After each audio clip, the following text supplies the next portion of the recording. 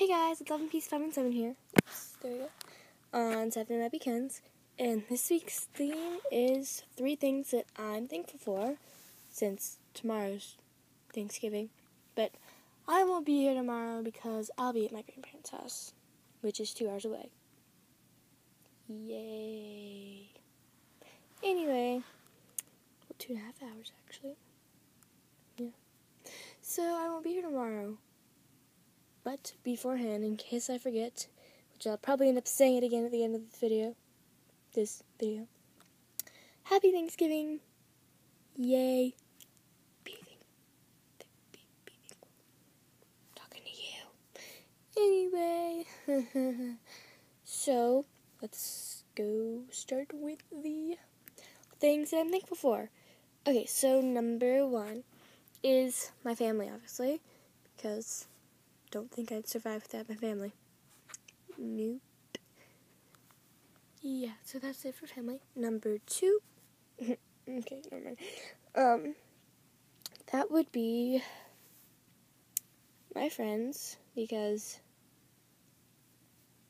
I don't know. I, life is boring without friends. And my third thing is you.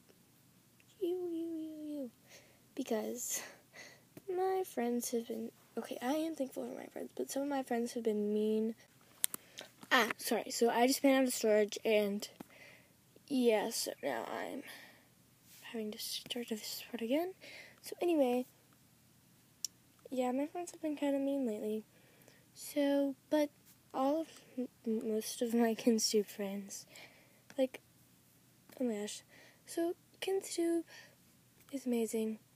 So are you because everyone here on KinzTube is so nice, and I don't know.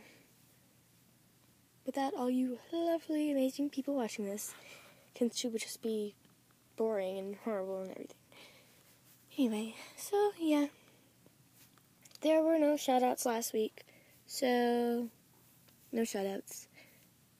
So if you want to shout out next week, though, comment down in the comment section. Oops, I just hit my tree. Yay, I have my Christmas tree up. I know it's not even Thanksgiving, but I have it up. Because I'm not going to be here tomorrow, like I said. Anyway, so, yeah. Comment down below what your one or two things that you are thankful for. And I'll see you guys next week. Bye. Bye. Bye.